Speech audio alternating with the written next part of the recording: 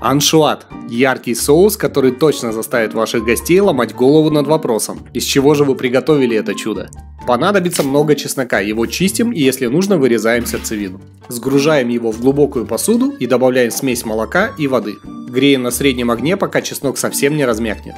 Процеживаем и сгружаем чеснок в чашу блендера. Добавляем немного ароматного молока, маринованные анчоусы, сок половины лимона и пробиваем до однородности. Вливаем растительное масло и снова пробиваем.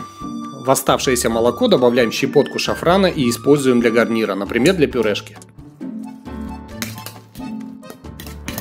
Аншуат не самый универсальный соус и лучше всего работает с рыбкой.